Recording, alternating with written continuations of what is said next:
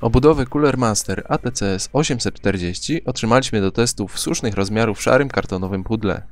Jedyną rzeczą, która zwróciła naszą uwagę poza gabarytami, był rysunek przedstawiający szczegółowy przekrój przez naszego dzisiejszego bohatera.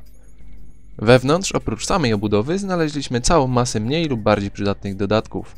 Mamy więc głośniczek, 8-pinową przedłużkę do zasilania kart graficznych, dodatkowy grill, uchwyt do montażu zasilacza na górze obudowy i plastikowe tasiemki z taśmą klejącą do organizacji kabli. Ponadto w zestawie znalazły się jeszcze plastikowe ramki umożliwiające montaż w górnej części obudowy trzech wentylatorów 120 mm i specjalnie wykonany tunel montowany za kartami rozszerzeń.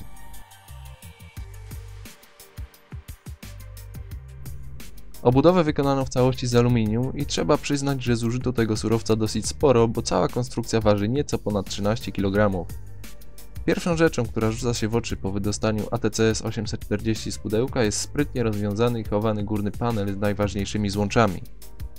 Z tyłu znalazło się miejsce dla wspomnianego tunelu chłodzącego, który ma za zadanie po podłączeniu wentylatora usuwać ciepłe powietrze z okolicy karty graficznej. A jeżeli o chłodzeniu mowa, to należy zaznaczyć, że Cooler Master pod tym względem nie oszczędzał. Dwa 230 mm wiatraki wyciągowe przesłonięte siatką znalazły miejsce na grzbiecie.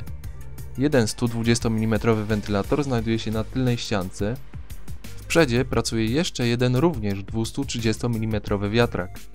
Ale na tym nie koniec, bo opcjonalnie w podstawie można domontować kolejny wlotowy, a zasilacz przykręcić wiatrakiem w dół, dzięki czemu będzie on również dostarczał do obudowy chłodne powietrze z zewnątrz.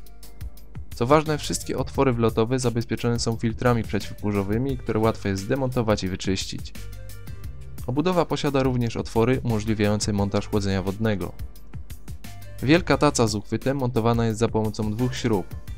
Ich odkręcenie powoduje, że całość z łatwością wyjeżdża ze środka dzięki łożyskowanym prowadnicom. Dobrym rozwiązaniem jest pozostawienie w tacy otworu do montażu zewnętrznych elementów układu chłodzenia procesora.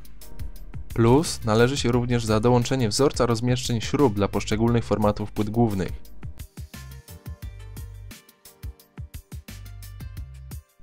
W tej klasy sprzęcie nie mogło zabraknąć również bezśrubkowego systemu montażu napędów 5.25 oraz 3,5 cala. Mniejsze są umieszczane w specjalnej zamykanej ramce i ułożone prostopadle do obudowy. Większe zabezpieczane są specjalnym zatrzaskiem.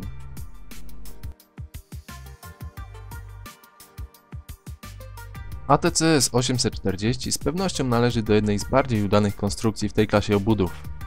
Przestronne wnętrze pomieści nawet najbardziej rozbudowaną konfigurację, zapewniając doskonałą cyrkulację powietrza wewnątrz. Stylistycznie nie jest ona zbyt wyrafinowana, a wręcz przeciwnie, prosta i stonowana, ale na pewno nie banalna. Jakość wykonania stoi na najwyższym poziomie, tworząc wspólnie harmonijną całość, która ma być przepisem firmy Cooler Master na kolejny rynkowy sukces.